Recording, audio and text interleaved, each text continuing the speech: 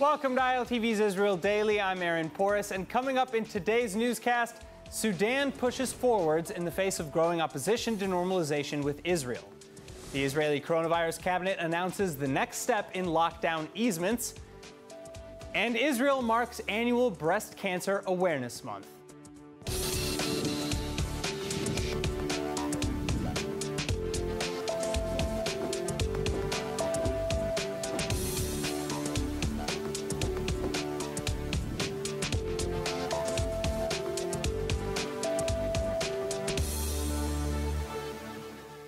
Economically crippled Sudan is already now seeing the pending benefits of normalization with Israel. Prime Minister Benjamin Netanyahu announcing on Sunday that Israel will immediately be sending $5 million worth of wheat, quote, to our new friends.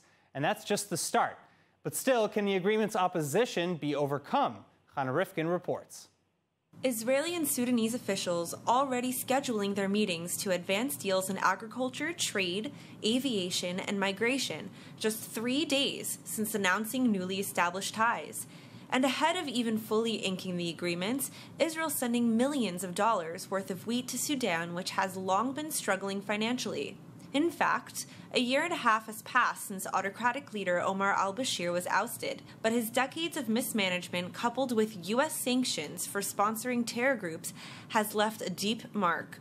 The transitional government in place still trying to get ahead of massive debts and skyrocketing inflation rates. Still, old habits and alliances die hard and economic fixes or promises may not be enough to sway the opponents to the deal. After all, peace is about as far as you can get from Khartoum's famous three no's policy of 1967, in which Sudan pledged no to peace with Israel, recognition of Israel, and negotiation with Israel. Also, scars still remain from Israeli operations and involvement in Sudan's division with the Christian southern Sudan. Until now, Israel and Sudan were even still technically in a state of war.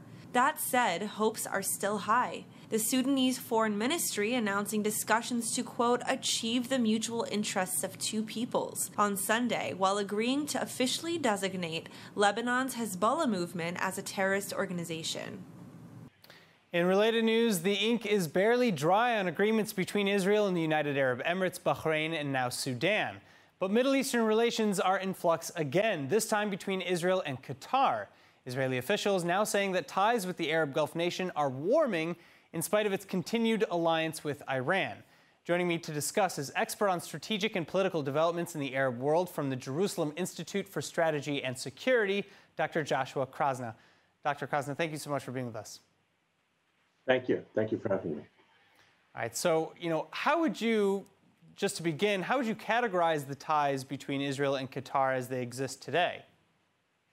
So, um, the tie between Israel and Qatar has existed uh, uh, for quite a long time, uh, for over 20 years. And um, during uh, uh, the stage of the Oslo Accords in 19, uh, during the years between 1994 and 2000, when Israel's relations with many Arab states, including in the Gulf, improved markedly, it had excellent relations with Qatar. Since then, um, the Qatar, the relationships with Qatar um, has stayed um, present. It was uh, downgraded uh, after, in 2000, in the 2000s uh, after the Second Intifada, like with almost all the Arab countries who didn't have formal diplomatic relations. But we've had a relationship uh, with them over time. And in fact, uh, Qatar has been uh, helping us um, both as an intermediary and as a financier with the Hamas government in Gaza. Um, on the other hand, um, Qatar is um, a regional rival of some of our close friends um, of the UAE, of Bahrain, of Saudi Arabia as well, of the Egyptian government, and is uh, quite close to Turkey and to an extent, uh, a certain extent, close to Iran, certainly closer to Iran than many of the other states in the Gulf. Well, so, you know, do you see Qatar joining the UAE or Bahrain or Sudan? Do you see them maybe crossing the line and, and leaving the axis with Iran and Turkey and, and coming over to the other side? So, um, no, is the short answer. Um, and I would say uh, there are two, uh, first, there are two different axes. Uh, Qatar has very strong axis with Turkey. It's become even stronger since the uh, Gulf states and Egypt uh, imposed a uh, blockade on it in 2017, uh, Qatar's relationship with Iran is uh, more instrumental. Uh, they're quite close to Iran. They share a huge gas field. Uh, they are one of the largest gas exporters in the world, and the field uh, from which they produce their gas is shared with Iran. So they're also quite physically close to Iran, and therefore it's very important for them to have reasonable relationship with Iran uh, at all times. So their relationship with Turkey is is kind of a love relationship. The relationship with Iran is more a, like a good neighbors relationship.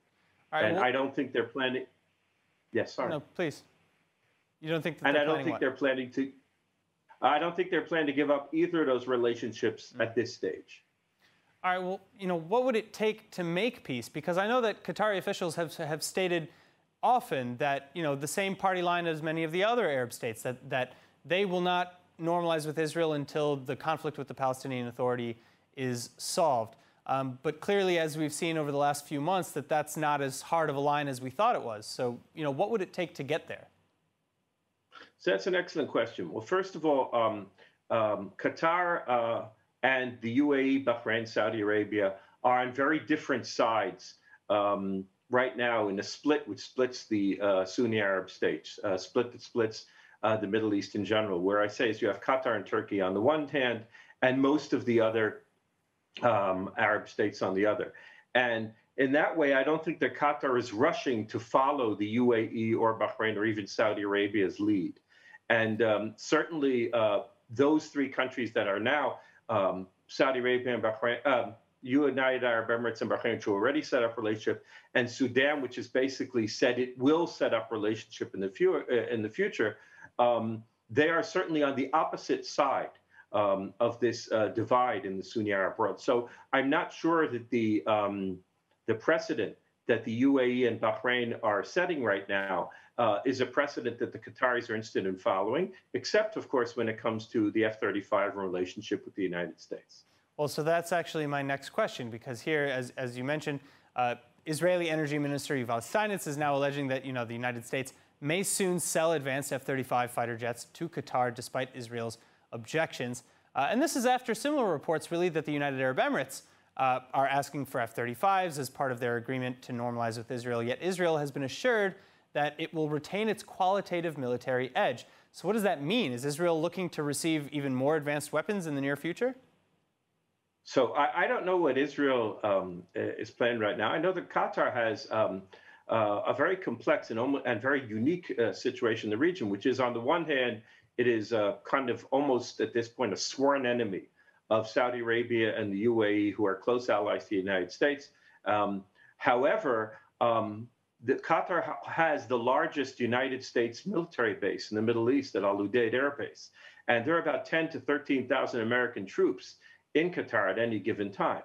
And uh, it has been a very important base to prosecute the wars the Americans have been prosecuting in Afghanistan, in the past in Iraq, um, in Syria. So, on the one hand, politically, uh, Qatar, uh, politically and strategically, Qatar is, is at odds with uh, other U.S. allies in the region. But on the other hand, it is a very key part of the American strategic um, uh, um, architecture and, and, military architecture in the region. In fact, the Al Udeid Air Base which they say is the largest base in the Middle, East, largest American ba uh, base in the Middle East, was recently updated at Qatar's expense. Qatar paid 1.8 billion dollars to fix this American air base and make it better. So there is a, a, a complete. It's a close military ally of the United States, and it's a real key center of uh, of American military power in the Middle East. Well, so so you know, what, what are the incentives? Who, what, what does the United States have to gain by selling F-35s to Qatar, and what does Qatar have to gain? Why are they asking for it? And what does that do to the balance of power in the Middle East?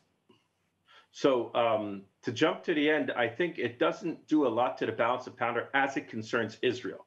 However, I think the United States is interested in selling the F-35 because Qatar is an important ally. In September, uh, the United States uh, began to discuss making uh, Saudi making um, Qatar, a major non-NATO ally, which is uh, Israel's a major ally, Egypt, Jordan, Kuwait, Bahrain, uh, Morocco. But um, in that uh, major non-NATO allies, almost the highest status you can be, again, without being a NATO ally. It's the same status as Japan, right? Um, so, um, so the uh, the United States is thinking about uh, actually upgrading strategic relationship with Qatar. As I said, because of Qatar's military importance, but also because they want to sell weapons to Qatar. Qatar, like UAE and like Saudi Arabia, is one of the big, biggest uh, weapons clients in the world right now. Um, what does it mean for strategic balance? The Qataris want it because the UAE is going to get it. And Qatar and UAE are two small but very influential countries of about the same size, which have been competing with each other for the past decade. So if the UAE got it from the United States, then the Qataris are going to want to get it from the United States as well. There are also countries that are very similar in certain ways and very different in certain ways. They see each other as arch rivals. So that's why they want it. What, what it means for Israel, um, I don't see Qatari F 35s as being a particular threat to Israel. Um, but I guess we'll have to wait and see. All right, Dr. Yes. Krasna, thank you so much for taking the time and, and discussing this with us. Uh, thank you. Thank you very much. In other news, anxieties are swiftly rising in Jerusalem as Secretary in the Prime Minister's office tests positive for coronavirus during a routine test screening. Nittany Manson with the details. Authorities already working on contact tracing, with Prime Minister Benjamin Netanyahu and his team saying they'll do whatever the health ministry advises, following the coronavirus diagnosis of an office secretary. And this as the health ministry finally reports new infection data from the weekend, with the contagion rate standing now at an average of 3%. So, with that in mind, the Coronavirus Cabinet on Sunday has voted on a number of new lockdown easements set to take effect November 1st, next week. The approved framework including the return to school of grades 3 and 4 in capsules and the returning of grades 1 and 2 in half classes on alternate days. Then plans to flesh out details surrounding after school daycare, transportation, and more set to be discussed in the coming days. Meanwhile, the cabinet has also now approved the Israel Tourism Ministry's initiative to label Eilat and the Dead Sea area as green tourism islands in which guests are encouraged to come and stay on condition of an updated negative corona test. Reactions to all the new easements are mixed, though, many still apprehensive over the risk of releasing lockdown measures too soon again, especially as the infection rate in certain municipalities remains as high as 9%, with the government declaring Majdal Shams, for one, a restricted red zone for at least the next five days. Whatever the case, the total active infections in Israel now number just over 14,000, 510 in serious condition, and the death toll rising to 2,404. So, are we exiting lockdowns too fast again? Or does the government have a better handle on the pandemic than it did before? Joining us to discuss is Deputy Director General from the Sheba Medical Center, Professor Arnon Afek. Thank you so much for being with us. Thank you as well for interviewing me. All right, now, Professor, they say that the definition of insanity is hoping for different results from the same actions. So which is it? Are we opening too fast or as fast as we safely can?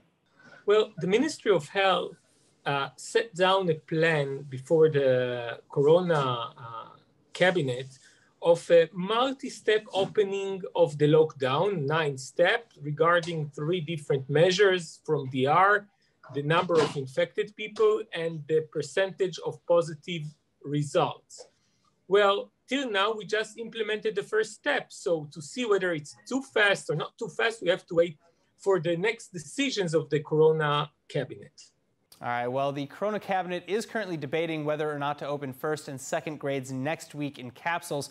What do you think about that? that that's what we suggested to open the first and second grade by capsule. If they are not able to open it by capsule, then let them decide which way to open, but not in a way that the, all the class convenes together. That's a, for us a too dangerous risk uh, just at so initial steps of coming out of the lockdown. All right. So, uh, what do you think about Netanyahu's six to eight step COVID exit strategy? Well, it's a very careful plan. It's been done very, very carefully. And uh, I do hope that the cabinet, the Corona cabinet will accept it as is and not change it. But that's that what we thought will be a very, very gradual uh, step out of the lockdown. All right, now we earlier mentioned the government plan to declare Eilat and the Dead Sea area as green tourist islands, so to speak, in which visitors can come as long as they have a current negative COVID test. Is this a good plan in your eye? Well, in public health, there are no 100% measures and no 100% security, but in order to keep the most of the, I would say, the most uh, important or um, the largest safety margins, what they decided is quite logical. Think that you do the same thing before flying to Greece. So why to discriminate Israel's isolated uh, touristic areas like Eilat or uh, the Dead Sea um, hotels from Greece. And I think it's quite a logical steps taken by the Ministry of Health and the Ministry of Tourism in order to have, have these hotels open and, and find another place for Israelis to take their vacations. All right, well, is there anything else that maybe you'd like to add? And let's hope that uh, we'll find very soon uh, new vaccine. As you know, the Israelis vaccine by the uh, IDF and the Ministry of uh, the Ministry of Defense. They are starting their testings in Sheba Medical Center next week, and I do hope that as soon but as safety as possible, we have a new Israeli vaccine. Is there an expected date for, for when that will come out?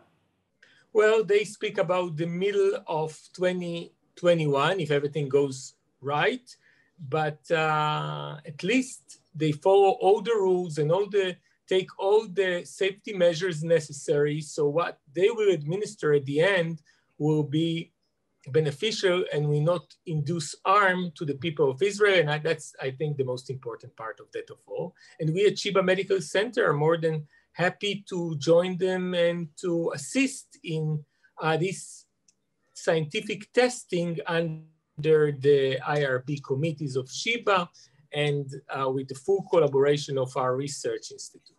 All right. Thank you so much, Doctor. Thank you as well.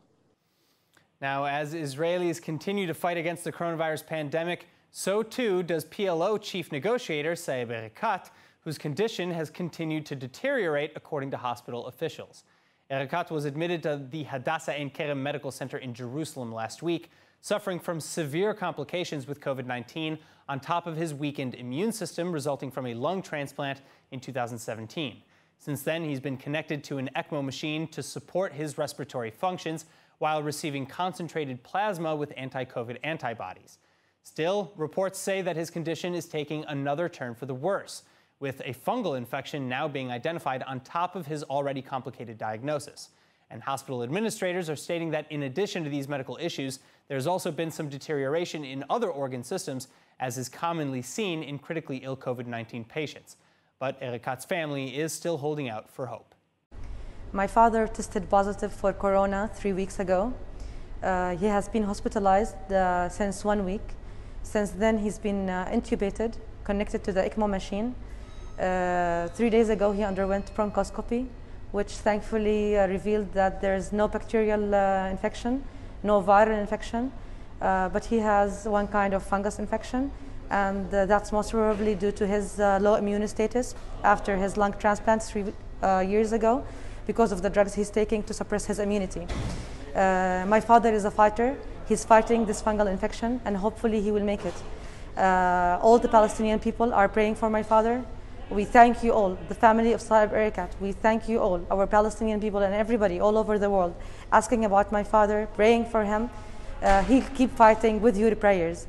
I would like to thank all the doctors, Professor Stephen Nathans, Professor Kramer, Professor Vernon, and all the Arab doctors around us, following up my dad's st status and praying for him. Hopefully things will take a better way. Uh, thanks for everyone. Thank you. In the meantime, Israeli development of a coronavirus vaccine is progressing on schedule.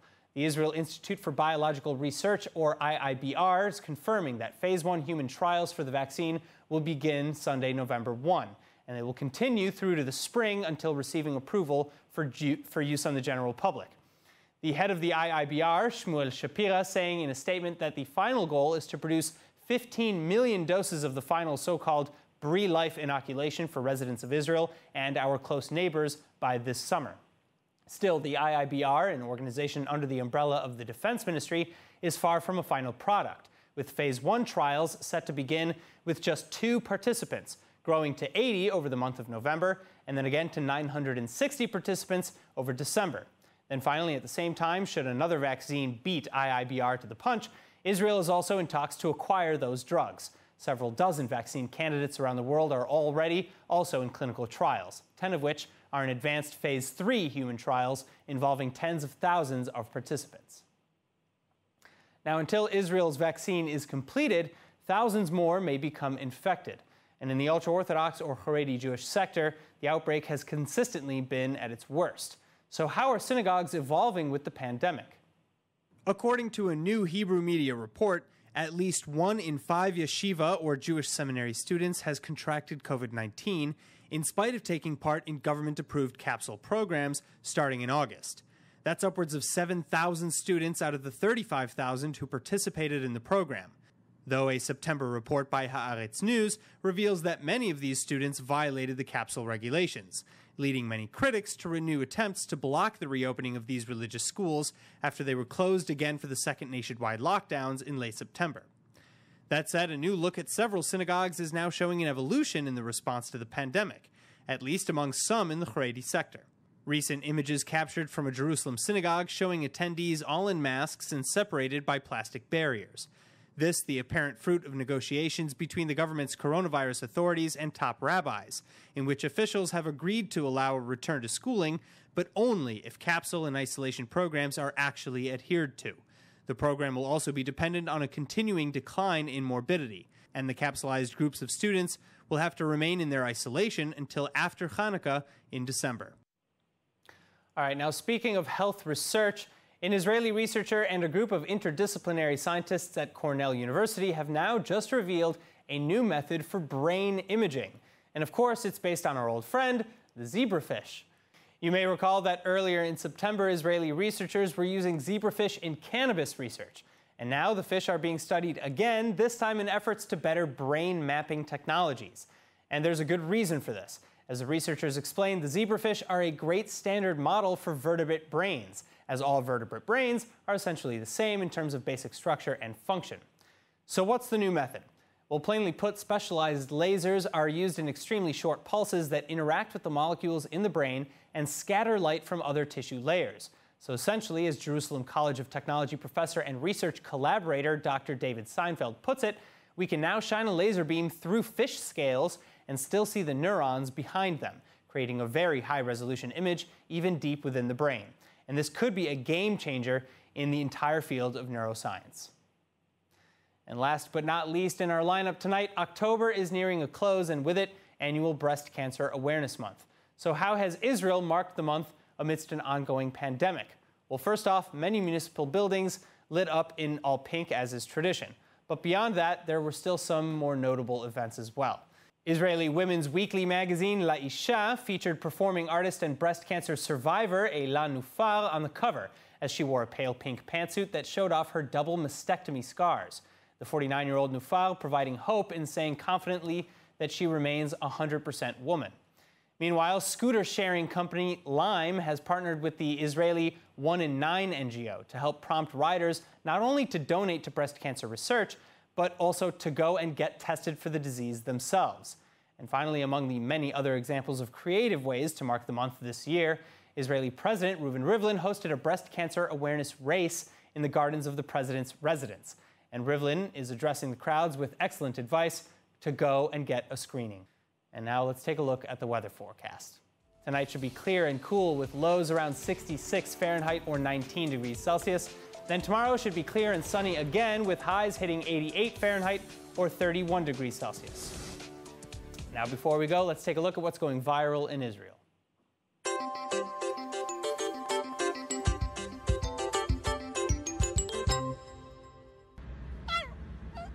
Oh, what a spooky ghost!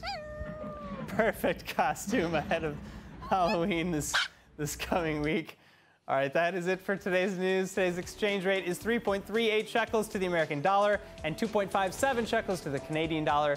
For more news from ILTV, please like ILTV on Facebook, follow us on Instagram, and subscribe to our YouTube and Roku TV pages. I'm Aaron Porras. Thank you so much for watching.